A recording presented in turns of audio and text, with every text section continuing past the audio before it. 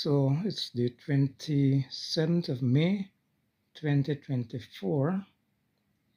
I want to take this opportunity to say happy 50th independence anniversary to all my family back home in Guyana, all my friends back home, also my 211 subscribers, most of whom are Guyanese. And I must say, I was watching the independence flag raising ceremony in Linden, and um, I enjoyed that program a lot. Even though I want to believe residents of Linden, a certain percentage probably boycotted uh, that uh, celebration. The opposition leader was saying that his party they were they were going to boycott that event and um, he was comparing the last couple of years where the celebration activities in Region 2, for those of you who don't know, that's in Pomeroon, Supenaam, and Region 9, Upper Takutu 2, the elected officials, they were allowed to participate in the planning of those events, but this year in Region 10 Linden, those elected officials were not permitted to um, participate in the planning of the events in Linden. Um, I think maybe there's an oversight on the part of the government. They should have allowed the people's elective representatives to probably um, at least share some ideas in terms of the planning. But as it is, that's water under the bridge. And um, you just look at the faces of those little kids um, where it was the the military drone displays by the joint forces or even the the, the 21 gun salute the art the fireworks. You look at the smiles on those children's faces even after 12 when some of them would have been in their beds. It was something to see. The children don't have time with um, politics. They just want to enjoy themselves. Um so also it's a holiday here in New York. We also have um, mem mem um, Memorial Day. That's um, honoring the dead that have fallen in different wars, whether World War II, World War One, and going right back.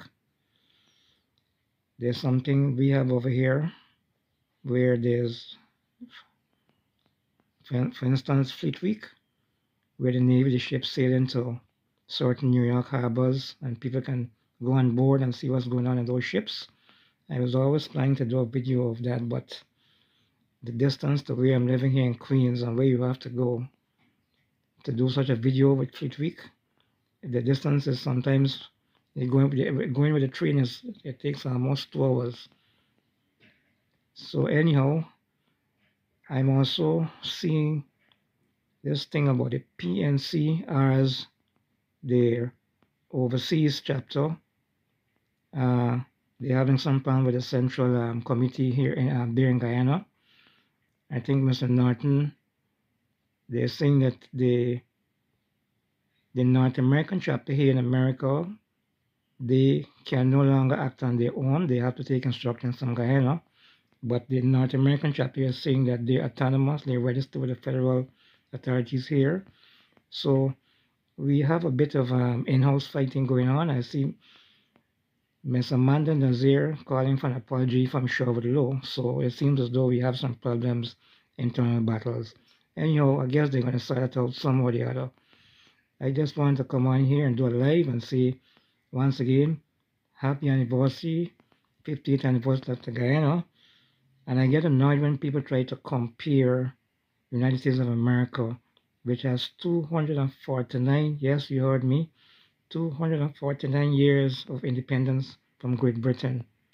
As comparing New York to Guyana, I hate to hear Guyanese saying, oh, New York has this camera and that camera and this and that. How can you compare 249 to 58?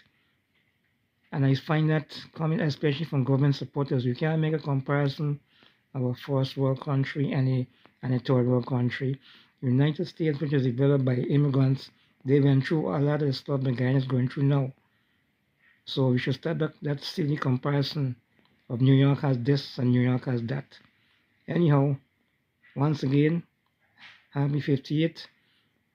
And I hope my Guyanese brothers and sisters, um, they they had a good time doing what they had to do. And we, over here in New York, it's a holiday. We're going to be doing what we um, want to do to enjoy this day with us, barbecuing, whatever. Anyhow, happy birthday, Guyana.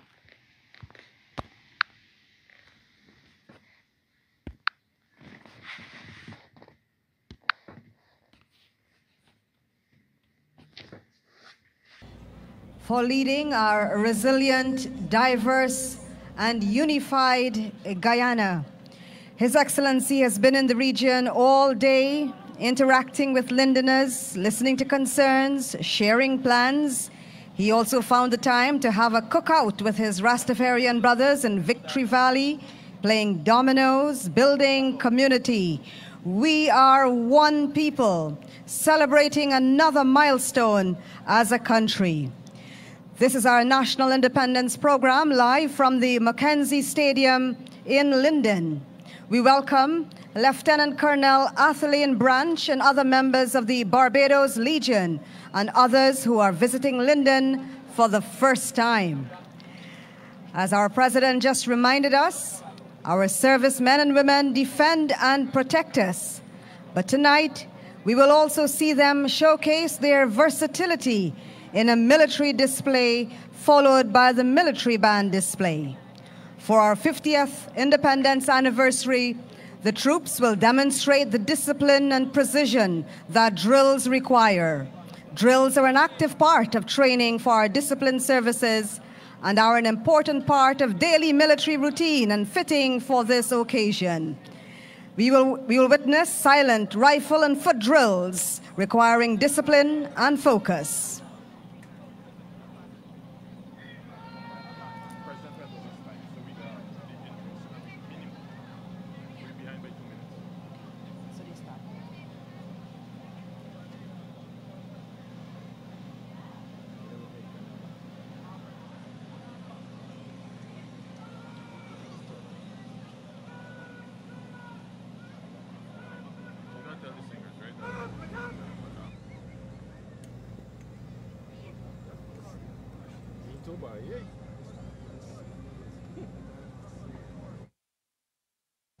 starts.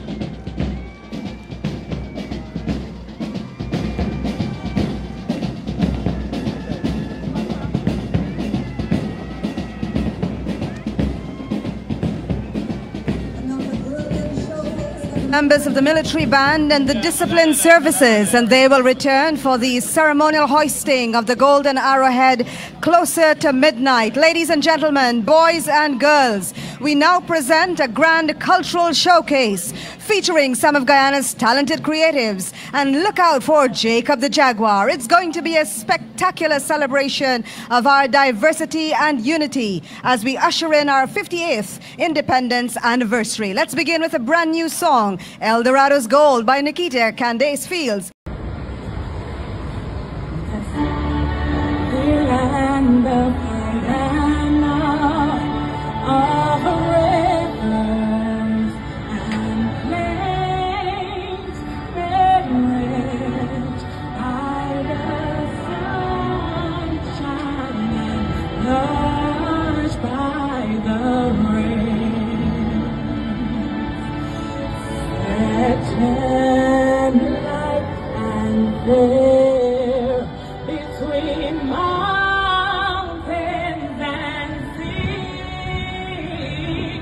More